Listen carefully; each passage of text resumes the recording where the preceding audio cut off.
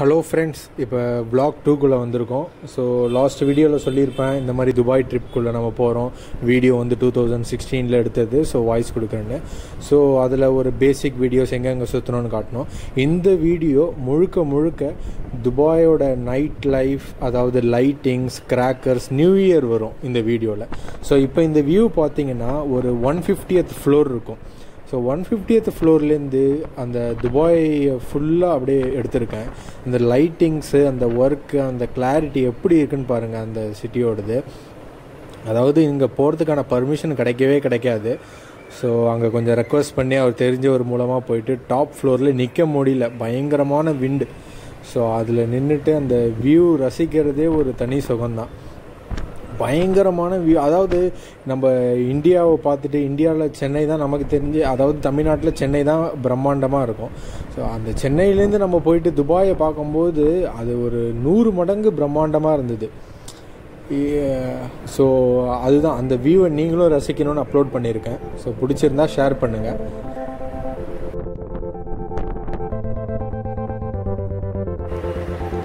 So அடுத்து இங்கே வந்தீங்கன்னா இது வந்துட்டு ஒன் ஆஃப் த ஃபங்க்ஷன் இது நியூ இயர் கிடையாது.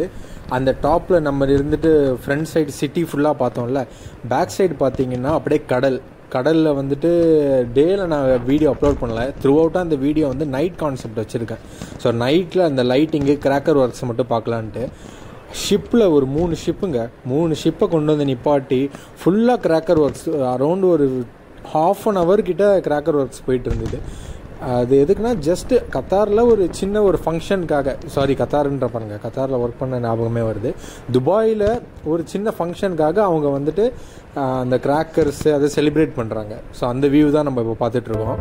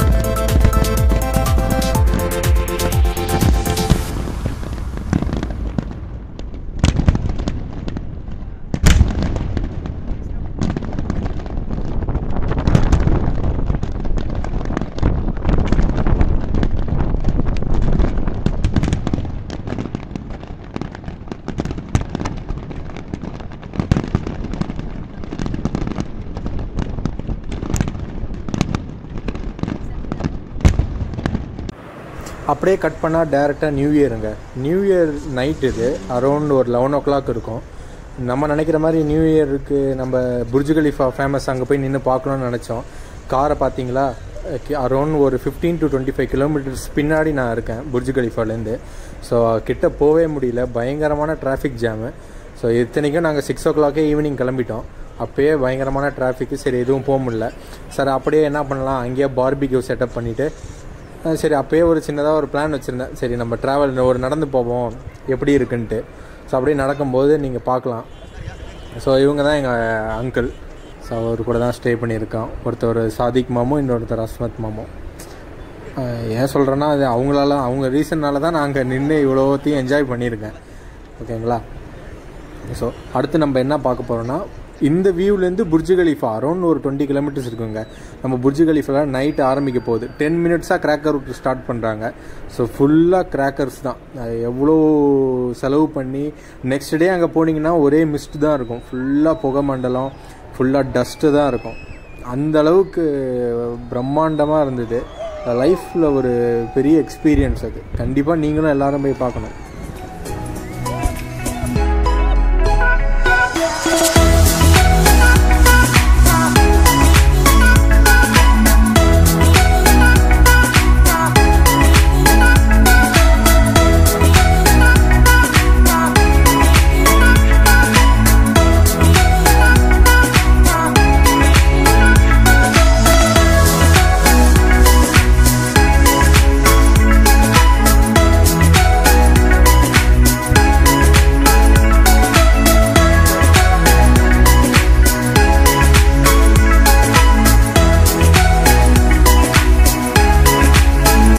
தேங்க்யூ ஃப்ரெண்ட்ஸ் ஃபார் வாட்சிங் மை வீடியோ ஸோ இந்த வீடியோவில் ஜஸ்ட் அந்த நியூ இயர் செலிப்ரேஷனை பார்த்தோம். நெக்ஸ்ட் வீடியோவில் வெவ்வேறு பிளேசஸ் பார்ப்போம். இப்போ தான் ஸ்டார்ட் பண்ணியிருக்கேன். போக போக கற்றுப்பேன் கண்டிப்பாக சப்போர்ட் பண்ணுங்கள்